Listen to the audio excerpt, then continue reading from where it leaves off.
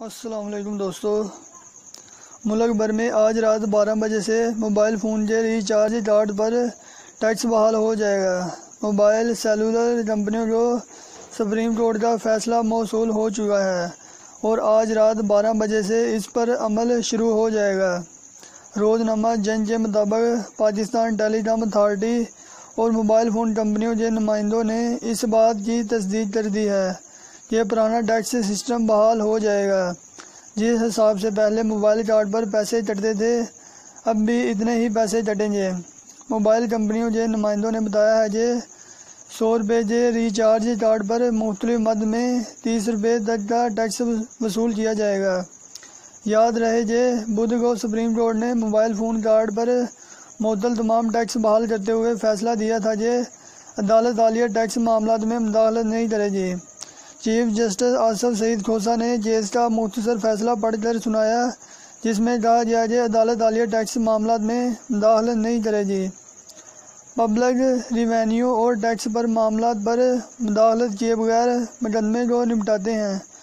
گزشتہ سال دو ہزار اٹھارہ، دو ہزار اٹھارہ میں سابق چیف جسٹس ثاقب نثار نے موبائل فون کارڈ پر ٹیکس کٹوتی کا از خود نوٹس لیتے ہوئے حکومت اور موبائل فون کمپنیوں کو عوام سے ٹیکس وصول کرنے سے روک دیا تھا۔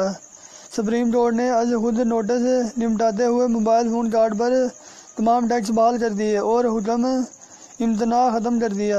بدھ کو سپریم کورٹ میں موبائل فون کارڈ پر ٹیکس کٹوتی سے متعلق کیس کی سماعت ہوئی تو اٹارنی جنرل نے ایک بار پھر عدالتی دائرہ اختیار پر اعتراض اٹھاتے ہوئے کہا کہ ٹیکس کے نفاذ پر از خود نوٹس کی مثال نہیں ملتی۔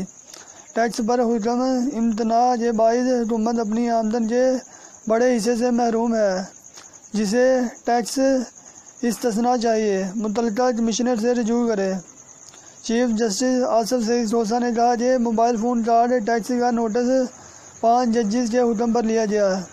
ان لاکھوں لوگوں سے ٹیکس لیا جا رہا تھا، جن پر ٹیکس لاگو نہیں ہوتا۔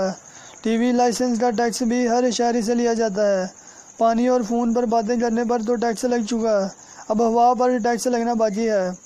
ماضی میں مشرقی پاکستان سیلاب ٹیکس نافذ ہوا تھا۔ مشرقی پاکستان الگ ہو گیا، لیکن فیلڈ ٹیکس نبے کی دہائی تک لیا جاتا رہا۔ ہر ٹی وی دیکھنے پر انکم ٹیکس لاگو نہیں ہوتا، لیکن وہ ٹیکس دیتا ہے۔ جسٹس اعجاز اعجاز الحسن نے کہا کہ جو ٹیکس کے اہل نہیں، ان سے پیسہ لینا بنیادی حقوق کی خلاف ورزی ہے۔ موبائل کارڈ پر ٹیکس بحال ہونے سے حکومت کو ماہانہ سات اشاریہ پانچ ارب روپے کی آمدن متوقع ہے۔ پری پیڈ کالنگ کارڈ سے ہونے والی ٹیکس آمدن جو جون دو ہزار اٹھارہ سے ہولڈ پر چلی گئی تھی، اب بحال ہو چکی ہے۔ ماہرین کے مطابق اس طرح مئی اور جون میں موبائل کارڈ پر آج ساڑھے انیس فیصد سیل ٹیکس اور ساڑھے بارہ فیصد ول ود ہولڈنگ ٹیکس سے مجموعی طور پر سرکار کو پندرہ ارب روپے ملنے کی توقع ہے۔ ایک اندازے کے مطابق پری پیڈ کارڈ پر ٹیکس سے سالانہ نبے ارب روپے کی آمدن ہوا کرتی تھی مزید اس طرح کی انفارمیٹیو ویڈیو کے لیے ہمارا چینل ضرور سبسکرائب کریں thanks for watching this video اللہ حافظ